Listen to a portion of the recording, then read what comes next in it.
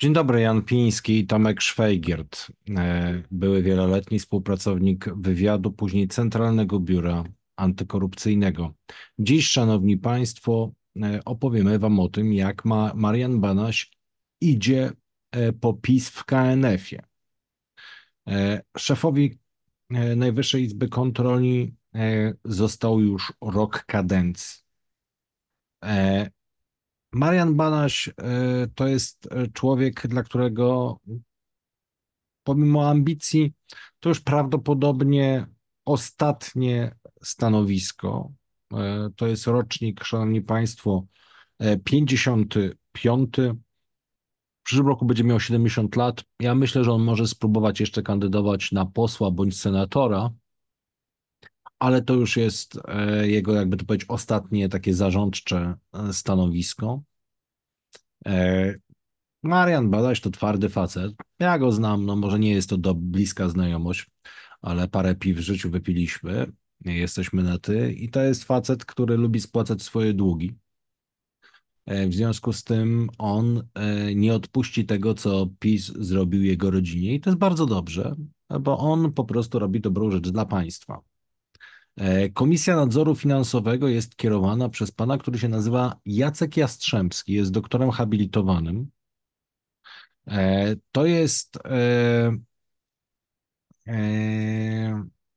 człowiek, który wszedł na stanowisko po Marku Chrzanowskim i został rzutem na taśmę wrzucony na przedłużkę. Ma 44 lata, szanowni państwo, jest rok młodszy ode mnie. To nie znaczy, że nie ma prawa robić tego, tylko że co się wydarzyło w tej kadencji ostatnich pięciu latach?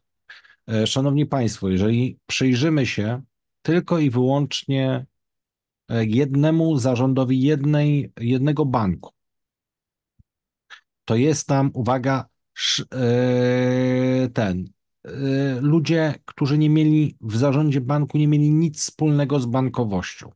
Żeby kogokolwiek mianować do zarządu, y, tacy ludzie muszą mieć y, wiedzę bankową.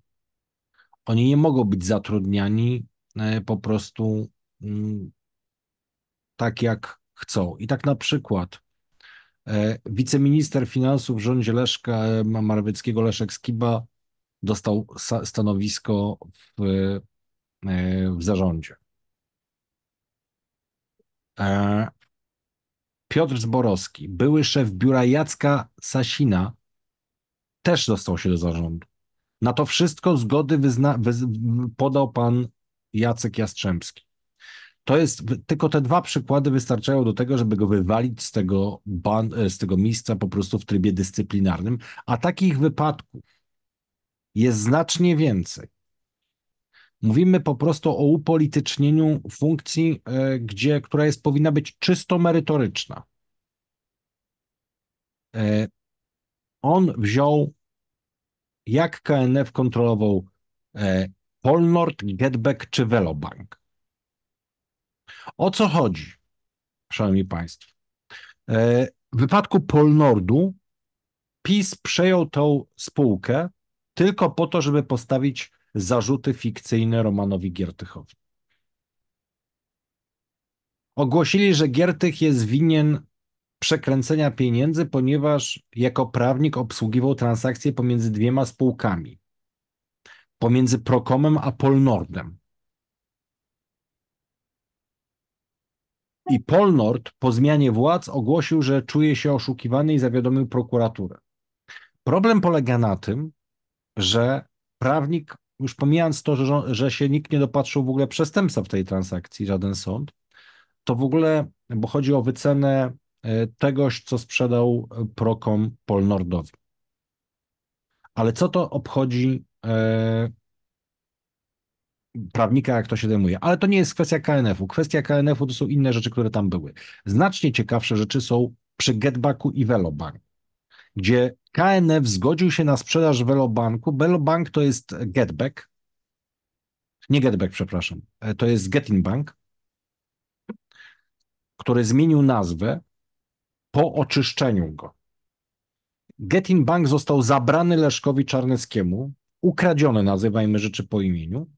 Następnie został wyczyszczony ze wszystkich problemów, odpicowany, szanowni państwo. Taki, że to jest taki czysty bank, bez żadnych zobowiązań, bez tego zmieniona nazwa na Velobank, bez żadnych problemów. Według To tego, co obiecywał pan Chrzanowski wcześniej. Ale nie, ale czy on, czy o nie, nie, to Tomku, oni tu zrobili jeszcze lepszą rzecz. Oni po prostu wszystkie rzeczy, które mogły obciążać. Szanowni Państwo, w biznesie, Tomek, wszyscy, kto prowadzą, masz, masz górki, masz doły, Tak. masz ryzyka. To, że były tam dużo kredytów e, walutowych, to wcale nie oznaczało, że te kredyty przestałyby być spłacane. Kredyty mieszkaniowe są w Polsce cały czas w czołówce spłacanych kredytów. Zmieniono zasady gry po prostu. Tak, po zmieniono umęczyć, zasady- Umęczyć pana Czar... Znaczy nie, no zrobiono w. Polsce, w Polsce zmieniono nagle zasadę, w której nakazano po prostu najbardziej surowe w Unii Europejskiej przepisy dotyczące zabezpieczenia udzielonych kredytów. I dano właścicielom banku czas na dokapitalizowanie, ponieważ y, to było tak naprawdę Lex Czarnecki, ponieważ był tylko jeden polski właściciel banku i tylko jeden bank z tak dużą ekspozycją. Więc to jest trochę tak, szanowni państwo, e, właśnie jakby komuś podnieść ratę. No, e, skąd polski właściciel miałby znaleźć tego? Musiał albo ten bank sprzedać komuś, no ale oni przyszli do niego i powiedzieli, dobrze, ty się panie nie martw, ty tylko daj 40 milionów. Natomiast pan, pan Leszek Czarnecki za dużo siedział w biznesie, on dobrze wiedział, że te 40 milionów to jest dopiero wpisowe. Początek. To jest tak, szanowni państwo, bo potem przychodzi taki facet i mówi, wiesz, y, no ale rynek dalej poszedł do góry, a ja mam ślub dziecka, nie wiem, y, koleżanka ma y, ślub, ja muszę prezent kupić, nie wiem, remont jest na Nowogrodzkiej, musimy, kurczę, wysłać nowe meble, cokolwiek, no przyjdź, no, no słuchaj, co... Zeznawał jeden pan, że zbierano na Jarosława. Już zeznawał. Tak, nie, ale szanowni państwo, to, to, to, to, jest, do tej pory nie wiemy, dla kogo zbierał pan Marek e, No, zgodził się na podawanie nazwiska, ma swój proces w tej chwili. Getback to jeszcze jest inna sprawa, szanowni państwo. Getback to jest e, firma, która sponsorowała wszystkie media pisowskie, e, która, uwaga, w pewnym momencie e, ogłosiła niewypłacalność. Na czym polega problem? Na tym, że nadzór finansowy powinien tą firmę przytrzepać wcześniej. E, Po drugie, nie powinien dopuścić do sytuacji takiej, w której aktywa z tej spółki wywędrowały gdzie indziej. W tej chwili mamy tak, że jest e, prawie że już czysta spółeczka, gdzie są te wierzytelności, które kupowano e, za pieniądze, bo Getback to była spółka skupująca wierzytelności, czyli długi ludzi, następnie windykująca je i e, odzyskująca pieniądze i przy dobrej e, stopie odzyskiwania masz biznes. Na czym to polega? No jeżeli umiesz odzyskiwać e, wierzytelności, no to po prostu kupujesz taką wierzytelność. Bankowi się, bank nie jest windykat, windykatorem długów. Więc bank, z punktu widzenia banku, jak masz zły dług, to lepiej go, nie wiem, sprzedać za 50, 30, 70% w zależności od tego, jak bardzo on jest zły i za przeproszeniem nie pieprzyć się z tym e, i wyczyszczać. Masz po prostu tego, zamykasz sprawę, do tego idziesz dalej, bo każdy się w czymś specjalizuje. I ten pomysł na e, Getback jako na firmę nie był zły.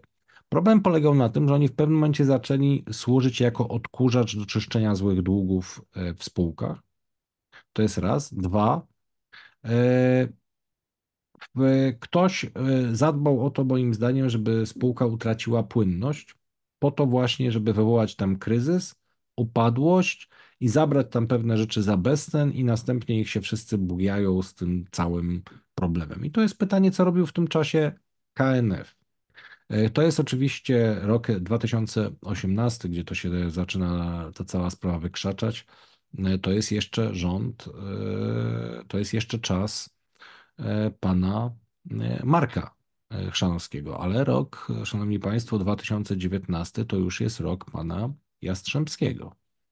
E, I tutaj już to rzeczy, które się później działy e, z Getbackiem e, i z e, powiązanym e, z tą aferą e, funduszem Abris, to już jest sprawa pana Jastrzębskiego. To jest bardzo ważne stanowisko, szanowni państwo. Ja nie wiem, jak to zrobić ma pan minister Andrzej Domański. Ja trzymam za niego kciuki, bo to jest bardzo kompetentny człowiek, ale on musi razem z premierem e, Donaldem Tuskiem wyrzucić tego pana, bo e, on może być i grzeczny, natomiast e, to nie jest facet, który powinien pełnić tą funkcję. Pan Jacek Jastrzębski po prostu nie spełnia rękojmi profesjonalnego, apolitycznego policjanta na rynku, bo KNF to jest taki policjant tylko taki naprawdę, jego można byłoby od biedy porównać do Centralnego Biura Śledczego, do komendanta, tylko że to jest dużo ważniejsze. Znaczy dla... Mianowanego przez Morawieckiego już po wyborach tak. na, spotkaniu, na spotkaniu Morawieckiego z Dudą.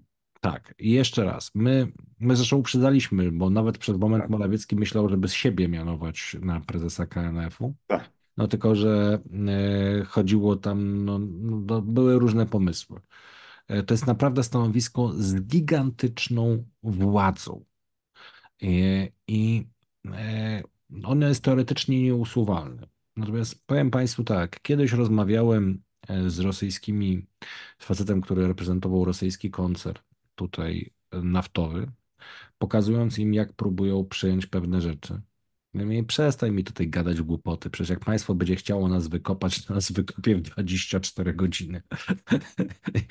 ja mu tam pokazywałem jakieś tam techniczne parametry i on, on tak takim rosyjskim sposobem pragmatycznym. Bo Żadnych umów tam po prostu. Nie, bo dla nich, szanowni państwo, dla nich e, z punktu widzenia psychiki e, człowieka wschodu, to taki papier pod hasłem, że tu akcje, tutaj ten paragraf, przychodzi jakiś koleś i mówi po prostu wy ale już, tak. Ale tak, a, a, ty, a, a facet się tylko pyta, ale jak dużo mam czasu? Mogę zabrać rzeczy? Mogę wziąć rzeczy? Tak. Jak, jak długo mogę się spakować? Jak dużo rzeczy mogę spakować? Z iloma walizkami mogę wyjść? Więc e, tutaj jest troszeczkę ta sama sytuacja. Ja, to my nie namawiamy do łamania prawa. Natomiast teoretycznie nawet pan Jastrzębski, jakby mu nawet postawić zarzuty, to teoretycznie też się nie musi podawać w teorii do dymisji. Natomiast ja bym e, zasugerował, żeby pójść e, poradę do znanej kancelarii Romana Giertycha. Ona na pewno ma jakieś rozwiązanie problemu KNF-em, a jak nie ma, to je znajdzie. E, Niezwykle istotne, Janku, tam jest ciekawa sprawa Polnordu, czyli polowanie na Giertycha. Tak. Facto, tak. To jest polowa, po prostu polowanie na To było, urządzili sobie, urządzili sobie po prostu e, po, to, po to przejęli Polnord. Po to, żeby wytworzyć tam jakąś chorobę, mówiąc tak w cudzysłowie, tak jak w służbach, e, mecenasowi Giertychowi. Tak. Jest to, jest to, szanowni państwo, e, naprawdę bardzo ważne, ponieważ pan Banaś pokazuje mechanizm działania PiSu. E, ten mechanizm jest niezwykle groźny dla, dla naszego systemu finansowego.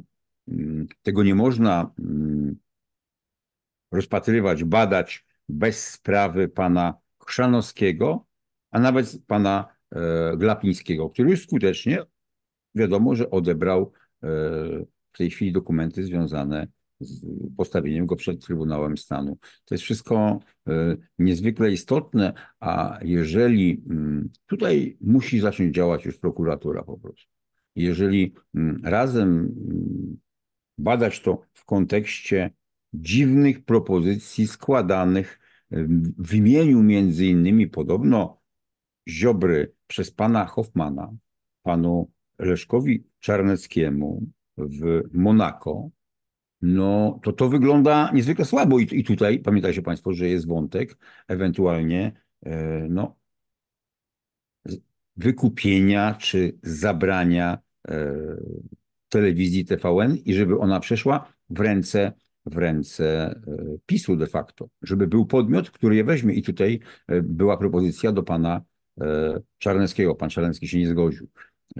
Zobaczcie Państwo, to jest sprawa niezwykle ważna, chociażby jeżeli chodzi o umiejscowienie Polski, jeżeli chodzi o sojusze. Rozumiecie, że Kaczyński ze swoją bandą miał plan, żeby wyciągnąć jedną z największych tutaj inwestycji e, amerykańskich w Polsce, żeby to porozwalać, prawda? Że oni w ten sposób to zrobią, bo już były te zabawy e, z koncesjami. Pamiętacie Państwo, jak, jak e, grillowano TVN i robiono te wszystkie historie.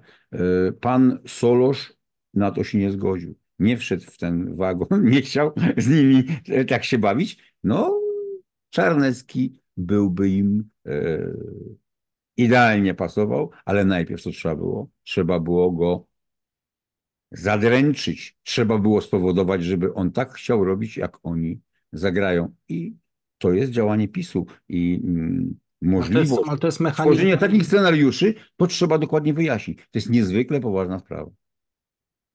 To jest kwestia, to jest kwestia e, tego, że znaczy scenariuszy. E, w pewnym momencie uderzono wiele firm. Nie wszyscy przyszli i powiedzieli o co chodzi. Tam jeszcze byli biznesmeni, którzy byli na giełdzie, byli biznesmeni, którzy nie byli.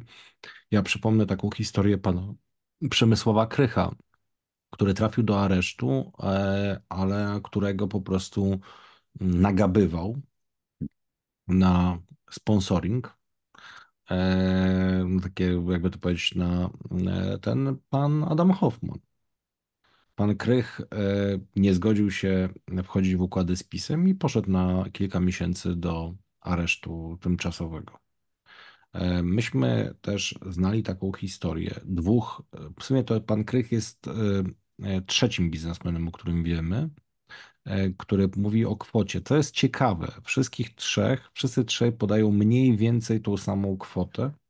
Równowartość 5 milionów złotych e, e, w, tak by to powiedzieć, na jakby dobrze, właśnie jak Państwo mówiliśmy, to nie, niby to oni mówią, że to wszystko było, ale tak naprawdę to była pisowe pierwsza rata. Jakbyś zapłacił piątkę, zaraz by się okazało, że e, szyby mi wy tego, a w ogóle samochód mi się zepsuł i no, Jarosław na początku też chciał 200 tysięcy od Bill Fernera, ale później Bill Ferner stargował do 50. No. I e, to jest e, mm, e, no. To jest taka praktyka, która sugeruje, że skoro stosowano to wobec przedsiębiorców mniejszych, skoro na pewno mamy dowód, że stosowano to wobec, wobec bardzo zamożnego człowieka, takim jakim był, pewnie jeszcze jest, ale już nie tak zamożny, pan Leszek Czarnecki, już były właściciel dwóch banków, które zostały mu ukradzione przez PiS, to możemy postawić hipotezę badawczą, że w ten sam sposób potraktowano dziesiątki innych. Można zarżnąć Czarneckiego, można zarżnąć Giertycha. Efekt paraliżujący jest taki, że mm, tutaj uspokójcie się, jeżeli nie będziecie robili tak, jak my chcemy, my możemy wszystko. E, ja nie chcę tutaj znowu e, mówić jakichś takich e, mm, słów, takich, które miałyby pokazywać bohaterstwo. Naprawdę jest to niezwykle ważne. Gdyby Giertych uległ i gdyby udało im się to zrobić, byłoby pozamiatane.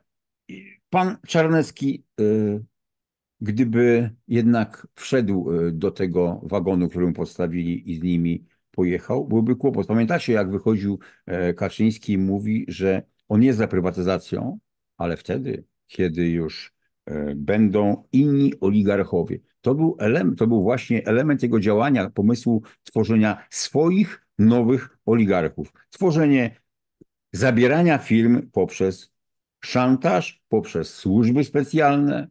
W ten sposób chciał dać swoim pieniądze, swoim, e, wrzucić swoich w funkcjonujące biznesy. I to się działo. Pomyślcie Państwo, ile takich przypadków skończyło się powodzeniem. Trzeba do tego też wrócić. To, to jest to, co oni robili. To ich bardzo boli, bo jeżeli się e, ile takich lokalnych biznesów było. O tym Janek, Janek często Państwu mówił. Tego było naprawdę bardzo dużo. Do mojego e, przyjaciela przyszli i jak ja już byłem w więzieniu, wcześniej próbowali go haraczować, jak byłem w więzieniu, no zapłacił im 5 milionów, u nich była taka stawka.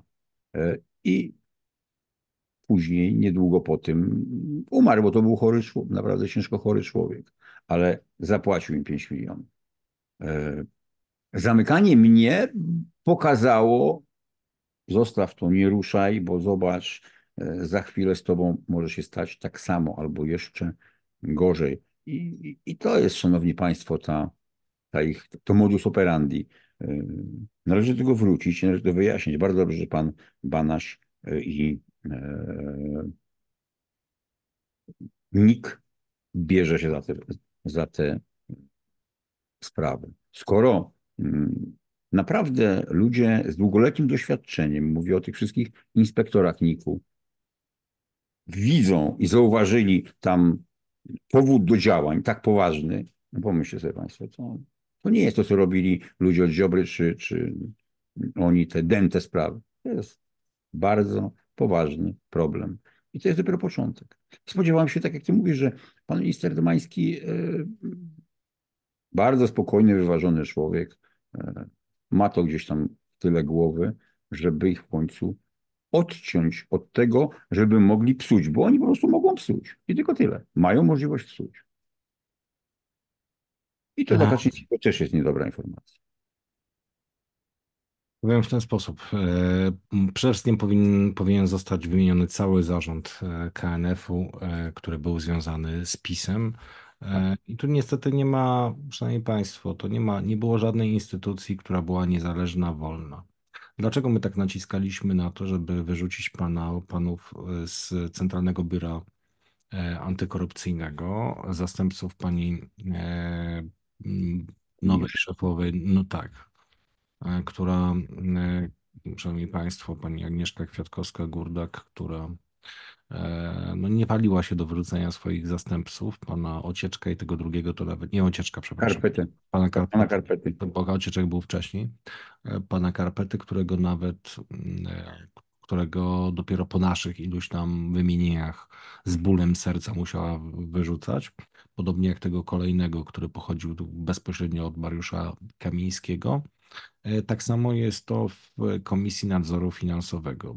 Tylko, że ta tutaj e, Państwo muszą zrozumieć, podstawą do wyrzucenia tych ludzi z KNF-u jest przejrzenie każdego, każdej nominacji, którą klepnęli do zarządu banku, do zarządu instytucji finansowej i wskazanie ludzi. Wiecie Państwo, na przykład e, była Pani prezes, prezesem, powiem tak, prezesem PZU była e, Beata e, Kozłowska-Chyła, która dostała e, zgodę na bycie prezesem polskiego, polskiego ubezpieczyciela. Ona, powiem Państwu, była bardzo cwana. Nigdy nie, udawa, nigdy nie, wyda, nie dała żadnego wywiadu na żywo. Nigdy nie dała żadnego wywiadu, w którym by rozmawiała z dziennikarzem rozmawiano się z nią w ten sposób, że wysyłano do niej pytania i przygotowywano odpowiedzi. W ten sposób pani chowała swój poziom niekompetencji. E, było jeszcze paru takich cwanych ludzi. Takich, e, w którym jak zaprosimy takiego człowieka, zadamy mu parę kontrolnych pytań dotyczących makroekonomii, dotyczących tego, jak funkcjonuje. Wiecie Państwo, jeszcze tacy jak pani y, Kozłowska-Chyła, którzy zdają sobie sprawę z tego, że są niekompetentni, oni jeszcze nie są najgorsi. Tak. Państwo najgorszy jest ten, który wie o tym, że nie powinien mieć licencji pilota, ale siada za sterami. Siada, no co ja będę latał? Ma, mam Boeinga, tak, bardzo. To, to, to, to, ci są najgorsi. Ci, no. co to y, siedzą, robią mądre miny i mówią, mmm, mm, dobrze, dobrze, tutaj świetnie prowadzisz, mm, znakomicie. No jest tak dobrze, że nie muszę siadać sam. Jak Mateusz Morawiecki, który, tak jak mówiłeś, prawda, mister tak. PowerPoint. Tak? No tak, tylko że wiesz, on dostał... Do perfekcji. On, je, no jego, jego, ale widzisz, no on, on dał radę, by się przygotować pewnie na jakąś prezentację, jedną, drugą, trzecią. Y, zdał, y, dostał te uprawnienia w czasach, kiedy, kiedy jeszcze nie było y, tego, co PiS robił. No, szanowni Państwo, jeżeli szef gabinetu... Kiedy podlizywał się Donaldowi Tuskowi, którego ale później... Tak, ale jeżeli szef, jeżeli, szef jeżeli szef gabinetu politycznego, polityka. Dostaje zgodę na wejście do jednego z, z tego. Szanowni Państwo, kto wydał zgodę Mari, ma, ma, ma, temu? Yy, tylko że to było jeszcze za, za Marka Chrzanowskiego. Mhm. Ale kto, kto wydał zgodę Maxowi Kraczkowskiemu? Do tego, żeby wszedł do banku e, PKO BP. Przecież to jest żart jakiś. Przecież koleś tam zarobił miliony złotych. Facet, który całe życie był politykiem. I nagle po prostu wychodzi i robi sobie karierę w y, bankowości. No albo jesteśmy poważni i uważamy, że coś trzeba umieć, żeby zarabiać miliony złotych. Kto dał zgodę pani Sadurskiej do wejścia y, w tym, Bejdzie. Tak, ale Bejdzie. Kto dał zgodę Bejdzie? O, pan Jarek, właśnie świetnie, żeś to wymienił. Pan e, Ernest Bejda, facet w 2000, pan, e, pan, Jac, pan Jacek Jastrzębski jako KNF wydał zgodę, żeby do zarządu PZU weszedł facet, e, który A, nie miał żadnej wiedzy na temat bankowości. Żadnej. Który dodatkowo miał nierozliczoną i ma nadal sprawę, w której odpowiedzialny jest za defraudację kilkunastu milionów złotych z funduszu Nie upilnował funduszu pracy. Szanowni Państwo, to nawet nie to, że nie upilnował. On tam, gdyby przeanalizować, my cały czas mówimy, że te dwie osoby, mąż i żona, powinni zostać przewiezieni przez CBS do jakiegoś spokojnego miejsca i przesłuchani osobno na okoliczność tego, ile naprawdę ukradli tych pieniędzy operacyjnych. W jaki sposób zostali w to oskarżeni? Bo my Państwu mówimy dziś, że Kto było- inwestował w tych firmach bukmacherskich? to- Kto? to- Dlaczego? Ale nie, Tomku, to jest, chodzi o to, żeby było jasno, żeby oni wiedzieli, że już jest dobrze, że są, Nikt im nie groził, że, tak? tak, że są poza tym e, tego, a potem sprawdźcie, kto był zaangażowany w proces na każdym etapie. Tak. Począwszy od obrony tych ludzi i ich relacji z Centralnym Biurem Antykorupcyjnym. Pozwalał, Czy to była- była, zwalać na mnie winy. Czy była Mhm. I zobaczcie, y, bo to obrońcy są kluczowi. Dlaczego obrońcy nie podnosili określonych argumentów?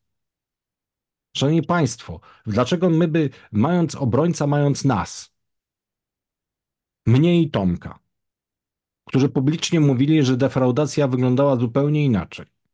Szanowni Państwo, obrońca jest od zasiania wątpliwości.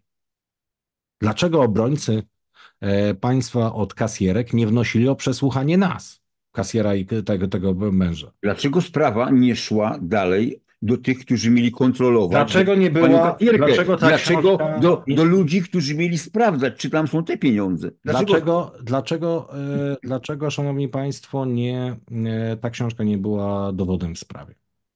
Złożonym. Szanowni Państwo, to, jest, to są pytania, na które. e, I teraz tak, człowiek odpowiedzialny za burdel w papierach, który tu macie Państwo opisany, książka jest modela bycia pod spodem. Człowiek opisany za, odpowiedzialny za burdel w papierach zostaje członkiem za kilkanaście milionów złotych, zostaje odpowiedzialny za kilkadziesiąt miliardów. To jest pan Jacek Jastrzębski, Komisja Nadzoru Finansowego. Brawo, to jest ten pan Mhm. prezes pisowski. On uważa, że jest nieodwoływalny. Panowie, znajdziecie sposób. Wysyłamy, szanowni państwo, nie to, że mamy jakiś tego, ja myślę, że pan mecenas Giertych za- zajmie się to, nie konsultowaliśmy tego z nim, zajmie się pro- bono. E, Chodzi o to, żeby pozbyć się e, szefostwa Komisji Nadzoru Finansowego, e, które jest pisowskie, a nie jest po prostu integralne i nie pilnuje interesów, szanowni państwa, na, Kolejna mina zamontowana przez PiS, Tak. Jarosława Kaczyńskiego. Na samym tutaj, końcu. Tutaj Morawieckiego de facto. Jednym, ja myślę, że można znaleźć opinię, ja myślę, że można znaleźć opinię konstytucjonalisty, który stwierdzi, że premier, który nie miał poparcia e, w większości parlamentarnej, nie miał prawa nominować e, e, po prostu nikogo. Szefa KNF. Tak, szefa KNF-u, że to jest po prostu nadużycie, e, nadużycie władzy. Szanowni Państwo, e, ostatni król Polski, historia bez cenzury w dobrych kioskach, w dobrych empikach. Ostatnie dwa dni, Szanowni Państwo, kto jeszcze nie ma, Szanowni Państwo, to, to jest, to jest, e, Szanowni Państwo, e, gazeta, którą jest najtrudniej nasza dostać, ale w empikach ona jest i tym, bo ona ma e, relatywnie najniższy nakład, historia ekspert, ale w tym numerze jest naprawdę dużo ciekawych tekstów, które powinni ludzie, którzy się interesują polityką, przeczytać, jak Mafia Piłsudskiego, to jest mój materiał i portret człowieka, który zniszczył Warszawę, zamordował ponad 200 tysięcy warszawiaków, Leopold okolicy pseudonim Niedźwiadek, sowiecki agent. No i oczywiście, szanowni państwo, książka Noce z Dudą i uwaga, e, e, dostępna w aplikacji e, Empik Go razem z naszą książką. Panie Jarosławie, pan Jaryso po 17.30, no muszę panu rozwalić jedną głupotę, którą robicie, tą znowu chcę wam pokazać sukces, to znaczy ta nieprawdziwa informacja, sensacyjne doniesienia, czytamy za faktem, ksiądz Olszewski wychodzi na wolność. Chodzi o to, że e, adwokat powiedział półprawdy. Powiedział rzeczywiście, że według sądu apelacyjnego, który skrócił czas trwania tymczasowego aresztu do dwóch miesięcy, czyli do lipca, 30 do 31 lipca w, mm, e, do, do 31 sierpnia e, e, tego roku. Ale pamiętajcie Państwo, że to jest tak, że na 14 dni przed mm, tym terminem prokuratura ma prawo złożyć odwołanie. Ja Państwu wytłumaczę, bo ja to przeżyłem i ja się bardzo cieszyłem. Po tym, kiedy E, ustawiono mi, mi sprawę i moje pierwsze aresztowanie wyszedł na podstawie tych sfałszowanej dokumentacji medycznej i innych tam tutaj rzeczy, sfałszowanej sprawy. Dostałem trzy miesiące aresztu. Sąd apelacyjny w Lublinie e, zmniejszył mój areszt tymczasowy do dwóch miesięcy. Wtedy, kiedy ta sprawa już się odbyła, bo to mija czas, ja miałem de facto niecały miesiąc do tego, żeby wyjść. Byłem szczęśliwy, że na pewno wyjdę. I wiecie Państwo, co się stało? Jeśli, o, jeśli pani prokurator, i to według mnie tam nie zachowała e, odpowiednich terminów, ale wiecie, co zrobiła? Wniosła e, zażale, znaczy wniosła nowy wniosek, nowy wniosek o tymczasowy areszt. Nie powinna tego robić, bo na zasadzie tych samych dowodów, tego samego, bo już sąd apelacyjny się wypowiedział, tam się nic nie zmieniło i tylko wniosła go do sądu w Warszawie. Było to dla mnie dobre i złe, bo oczywiście sąd w Warszawie klepnął mi kolejne trzy miesiące po tym wszystkim i jeszcze siedziałem rok. Także mm, jeżeli tutaj Państwo e, piszecie, że ksiądz na pewno wyjdzie e, w sierpniu, no jeżeli się nie odwoła prokuratura. Tak naprawdę ja jestem zwolennikiem, szczerze Wam powiem, możecie być na mnie źli, żeby wyszedł. Bo to by pokazało, że nawet dlatego, że, że e, mm, będzie, będzie tutaj. Nie zna materiałów dowodowych Tomku. Janku, ale wiesz o co mi chodzi? E, żeby gdzieś w końcu została przełamana w Polsce ta straszna rzecz, że ludzie, e, że najważniejszym, że, że, że najważniejszym środkiem zapobiegawczym stosowanym jest zawsze jest areszt. No, może. Natomiast Dementuje te informacje, ksiądz jeszcze nie wychodzi. Wszystko jest w rękach prokuratury. Znowu może być tak, jak pan mecenas Lewandowski denerwuje się, że prokuratura wykorzystuje należne jej e, tutaj środki. Też tak może być. Jak będzie, nie wiem. W każdym razie mówię, jak było w mojej sprawie. W mojej sprawie przeniesiono sprawę z Lublina do Warszawy i e, dalej siedziałem jeszcze rok. Jeżeli w tej sprawie będzie inaczej, ja bardzo trzymam kciuki, bo należy od razu wrócić do tego wszystkiego i ukarać panią prokurator Annę Siwiec, która zrobiła e, taki myk, bo tak to powiemy. Czyli sobie nie jeden, piłkę, nie jeden. Popełniła przestępstwo do Warszawy. Panie Jarosławie, panno Jaryco, my będziemy tak cały czas panu pokazywać te rzeczy, w których wy chcecie być tacy cwani. Nie, nie będziecie tacy cwani. Za każdym razem wam to pokażemy. Jak pan będzie siedział, to też już, to też się nie skończy. Do więzienia, panie Jarosławie. Do więzienia. Do więzienia, panie, państwu mówimy do zobaczenia.